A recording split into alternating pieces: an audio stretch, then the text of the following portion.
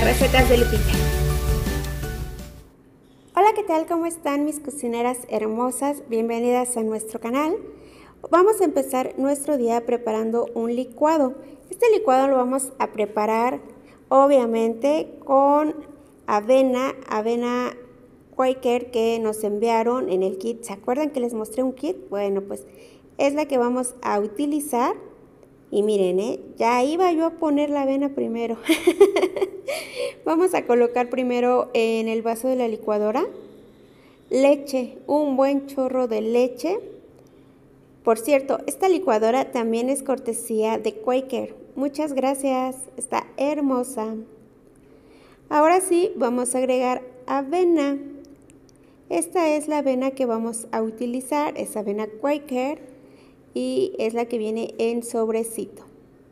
Yo voy a agregar de 2 a 3 cucharadas de avena, bueno, voy a agregar dos y media, pero ustedes pueden agregar de 2 a 3 cucharadas si gustan.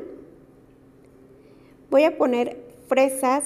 Estas fresas ya están lavadas y desinfectadas. También las he partido un poquito. Son aproximadamente 5 fresas las que estoy utilizando. Y ahora voy a colocar un chorrito de vainilla. Esto es opcional.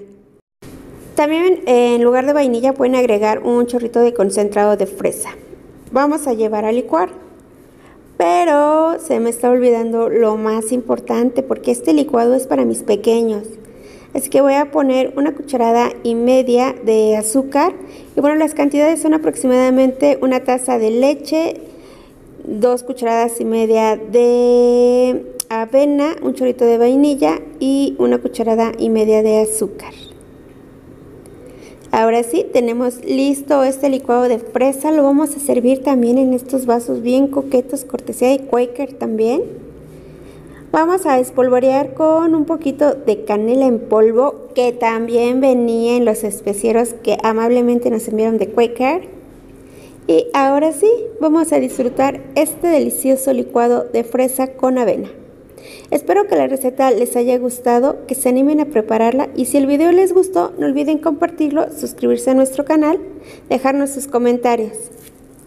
Y nos vemos hasta la próxima receta.